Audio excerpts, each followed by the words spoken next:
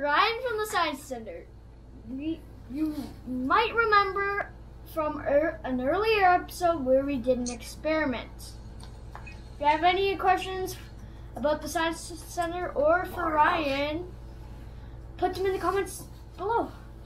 Uh, if, uh, what has it been like since the closing of the Science Center? Um, well, it's been it's been very um, you know interesting. We've been trying we've been doing a lot of experiments uh, in trying to create new content so that people can still sort of feel like they're um, uh, able to have those science center experiences. So we've been doing a lot of uh, videos online, and we have some online workshops that we're doing, and uh, just kind of trying new things and trying to get all of the people that are really missing the science center now that it's closed, uh, trying to give them a way to still sort of enjoy it and explore science. How is it? How's the schedule of movies of the movies for the IMAX being affected? Affected. Yeah, so temporarily, uh, the IMAX is shut down right now. It just wouldn't be possible to uh, to have um, to just to have people coming into the theater at this at this point. So um, yeah, so there's no movie showing at all. Some of the films, though, uh, we've we've had. Uh, so America's Musical Journey was an IMAX movie that we showed a couple of years ago, and it's actually available for free on uh, YouTube now. And so we've shared some of those links so that people can still get some of that those great stories. Will you? Will the Science Center lose any movies because of this? Yeah, probably not. Um, we uh, the last film that we opened uh, just in February was Into Nature's Wild, and uh, so we've that contract will just be extended. And um, you know, most movie theaters and most of the um, sort of like film companies, they're not releasing anything new to theaters right now, um, anyway. So uh, it shouldn't uh, really affect in terms of content. Um, at least for now. So we'll have to see how this how this goes for the long term and and uh, look at it again in a few months, perhaps, or a month, or whenever we reopen again. Did you grow a beard? I did. Okay. Uh, what are, what are some of the new things you've learned by going online?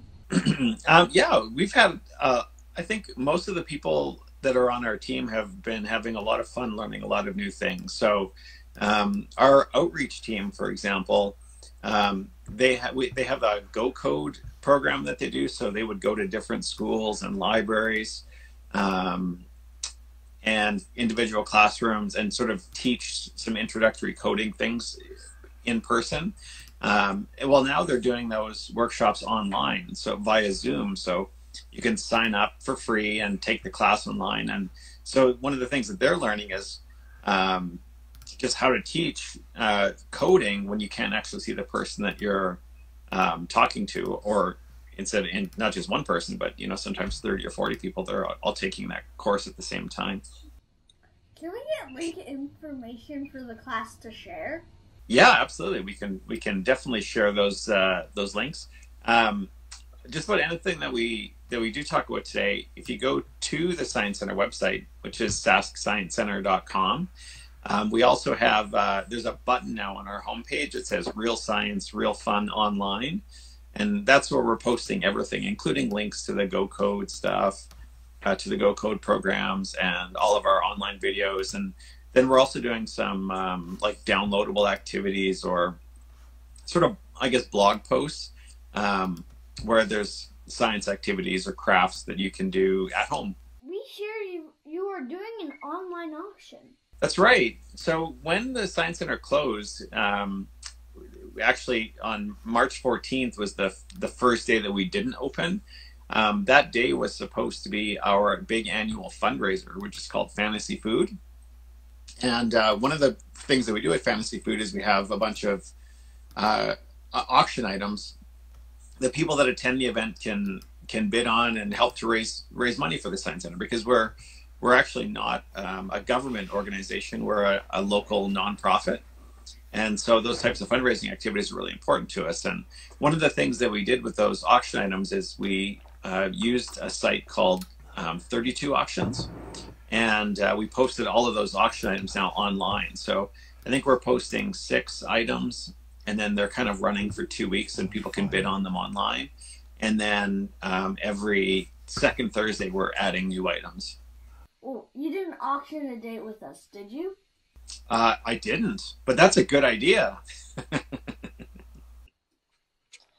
what are some of the other events besides your fundraisers that were canceled because of COVID nineteen?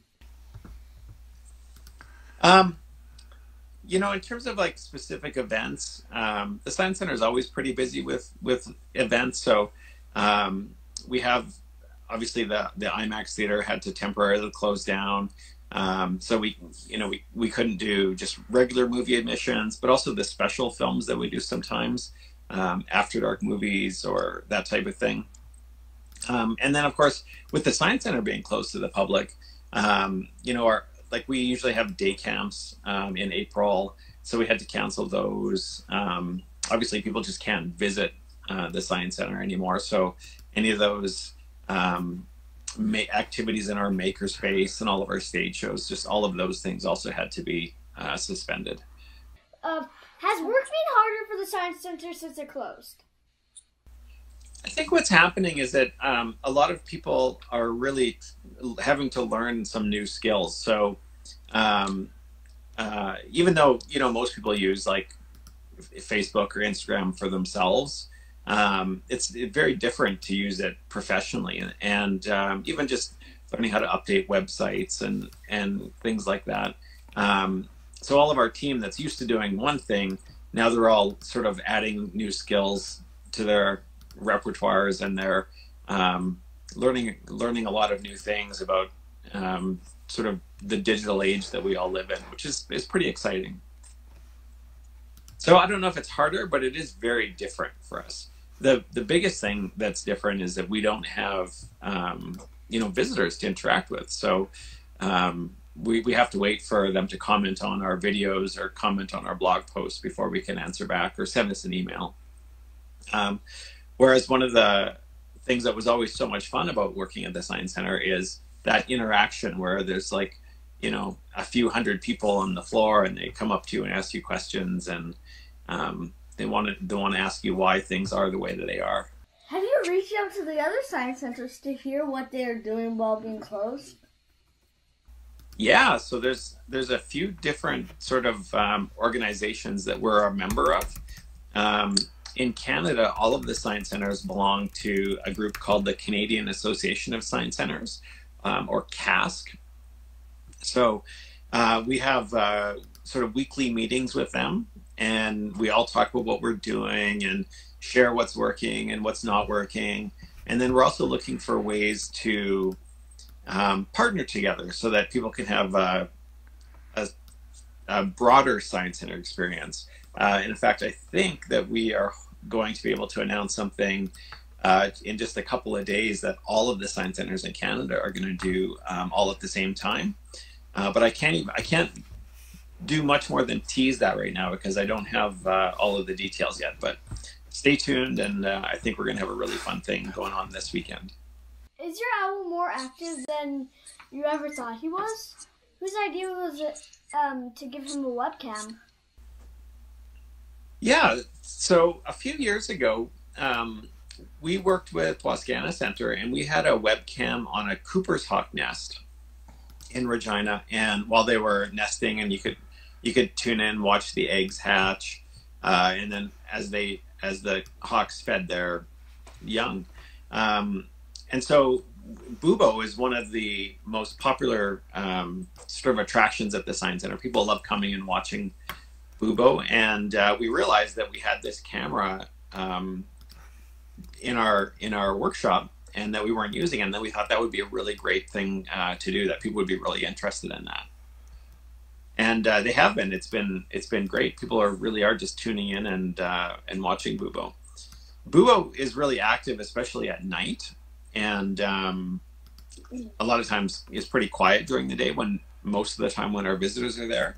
Um, most of us that work there have have seen that because we've been there, you know, in evenings, and we know we know how active the owl is at night. So it's really cool that people now at home um, can sort of browse through and see just how much Bubo actually moves around and how uh, Bubo moves around too. Because a lot of people may not know, but the reason that we have Bubo is uh, Bubo is a rescue. He only has one wing, and uh, so he can't fly um, around the cage uh, or around the enclosure. He just he kind of hops, and uh, so it's interesting to be able to see that and and watch that from your computer or on your phone. Uh, did you learn any hobbies that, that you're doing because of COVID nineteen? Have I learned any hobbies because of COVID nineteen? Yeah. Um, no, I haven't really. Although I've been spending a lot more time um, uh, in Adobe Premiere. So I'm sure you guys know about Premiere, Premiere Pro, Yep. because you guys make all your YouTube videos. So um, one of the things that I do is I make the like the IMAX, the pre-roll before the IMAX movies, and we use Premiere Pro for that. But now that we're doing all of our um, like science at home videos and the SSC TV videos, we're spending a lot more time in that. And uh, so, and now some other people are at work are learning to use that as well, which is pretty exciting. Uh, did you comb your hair for this? I did, but you know what it is? Is I, I need a haircut, and uh, my barber, I can't I can't go see them anymore. So I need to. I don't know. Maybe I just need to shave it off. What do you think? Yeah. Yeah. know anything about hair, and seriously, Mine is a I- mess. don't care about my hair really. My hair is straight. Literally, all I do is I just forget about it for a couple of months, and then my mom's like, "Hey, come into the bedroom to I mean bathroom so I can comb your hair," and I'm like, "All right, I have hair." Uh, so, yeah. It's so long. I hate it. If you If you have any questions about Science Center or for Ryan, put them in the comments. What keeps you be- busy during at? Oh wait, uh, are you tired of you washing your hands? My hands are really dry. I'm not tired of washing them, but they definitely are dry. You have to make sure that you're using lots of lotion because they're they get all cracked up and and dry from being from washing them all the time. But uh, but no, I'm not really tired of washing them. How about you guys? Uh, I'm not that tired of I'm not- I didn't. I don't really go out, so I just. I never really wash my hands. Because we don't go out that much. I, I just no. I just don't wash my hands. It's weird. It's bad. supposed to. I'm supposed to. It's just It's I bad. I kind of just forget about my hands too. I just forget about everything. I'm. I do a lot of things with my hands. I'm just like at the end washing my hands. I just neglect. Honestly, I just neglect having even having hands. And your body, uh, Like kind of. you neglect. Oh my god. I mean, like I don't even wash my hands. I don't. I don't know how it works. A scientist might know, but I don't. uh, uh, our dad says the Adobe Suite is really well resourced. It is, and you can watch lots of uh, lots of tutorial videos as well, which is actually one of the cool things about uh, about YouTube. Right, you can learn to do almost anything um, when you watch just by watching different videos of other people that teach it. Is there anything else? We should know about the Science Center or can tell viewers about services during this grand new, brave new age. Well, one of the things that we haven't talked about yet is our gift shop. So the Adam and Geek Science Shop um, is also closed to the public. But what we did was uh, we decided to make as many things as possible available online. So uh, we've been uh, creating items that you can purchase through our online store at the Science Center. And uh, we're actually offering next day delivery uh, in Regina. So next business day delivery. So if you buy something on Sunday, we'll drop it off on your step for you uh, on Monday, and uh, same, you know, Monday. If you buy it on Monday, we'll get it on Tuesday, that type of thing. And we we're not at this moment we're not offering that delivery on the weekend, but I think we're going to be doing that pretty soon. And um, we're also adding a lot of a lot more information about those items. So um, some of the things that we have are, for example. Um, if, if they're just a science kit, if you want to sit down, you know, with your family and and kind of do an experiment or, or build a kit to build something that we have in our store, then that's a great way to do that. And then some of the smaller items, if you're just looking for some toys, like we have uh, some skipping ropes and um, other sort of outdoor activity things that that we always sell around this time of the year for people that would usually play within in Wascana Park.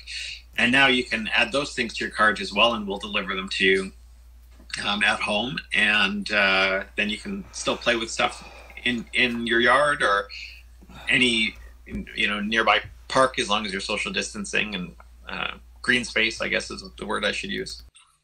Uh, wait. Um, actually, I have one of the exhibits at my house. I can shoot pucks because there's a hockey exhibit exhibit there. That's right. Because on Mondays there are the video is called Science at Home, so it's science experiments that you can do with things that you probably have in your kitchen. So um, we've done like color changing milk, and today we're gonna t- I'm gonna post a video um, a little bit later on this afternoon where you can use uh, the power of uh, hot and cold water to crush a can, a pop, an empty pop can. So, So for my class, I actually did an experiment because my favorite color is purple. So we put mix hot water, put hot water, boil the kettle, put that in like a ma- it was supposed to be like a wide jar.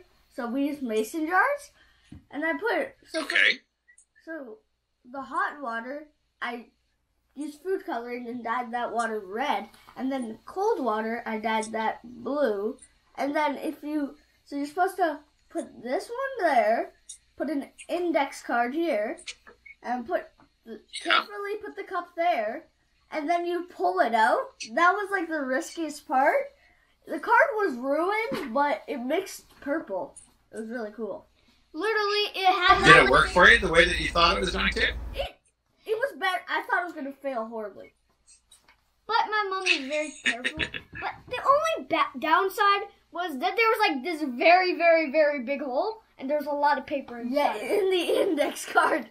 It was like It was like it was like some sort of big thing made a hole through it it, was a square and it had a hole. and it was like. Um, Yeah. Okay. Enough about that. Um. What has been the best response about the online experiments? Um, well, the um, one of the things that we do that's really fun is uh, part of the Wednesday video is we actually take questions from people. So we ask you to record a record a question on your phone and send it to us, and then Sally Science will answer that question. So we've been having a lot of fun with that. We're getting a lot of uh, really great questions from people that are watching and it's a lot of fun to to find a way to answer those questions with a, a, fun way and with a demonstration. Um, so that's probably the most fun.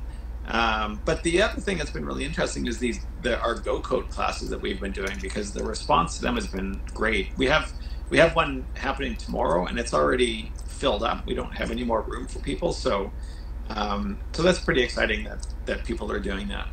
Who's Sally Science? So one of our uh, employees uh, has a, a great background in uh, sort of improv and drama, and so she created a character for the show called Sally Science. And Sally is just really fun and uh, very colorful and and um, lively, and she answers science questions for people. So Hmm, cool. Uh, yeah, so here's a question my mom would be really glad to hear. So in the IMAX, in, at, like in Christmas time, will Dune be coming? The movie. well, that's a good part question. of this, Um, part of my so experiment our with you guys IMAX doing this is learning uses- too.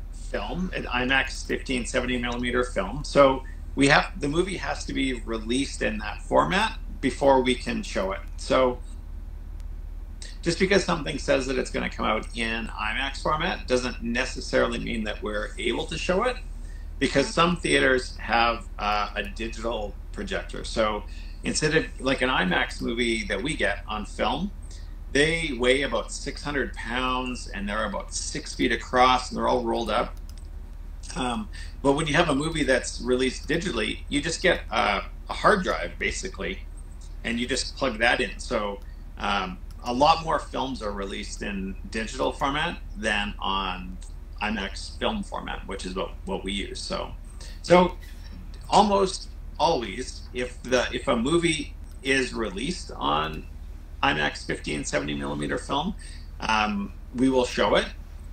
But um, we may not always get to show it the exact day that it comes out. So um, that's called a day and date release. If, it, if they say like coming on Friday, the May 14th or whatever. Sometimes we need to wait. A, sometimes we need to wait a couple of weeks before we can show it. Oh, cool. Uh, Yeah, Is your family tired of you being home? I think so. um, no, we're we're doing pretty good, but um, I have two kids and my wife is home as well, so we're we're all, we are busy um, like stacking things into desks. So this desk behind me here is actually an old door that's sitting on a bookshelf, and uh, we've been making little places so that everyone's got a a spot at home to work so they can get some quiet time to do their homework from school or so that I can do my work or my wife can do her work. Okay. Thank you for joining us, and thank you for letting us into your home. I nabbed your phone. Oh, thank you for having me. Thanks. Thank you. For more details.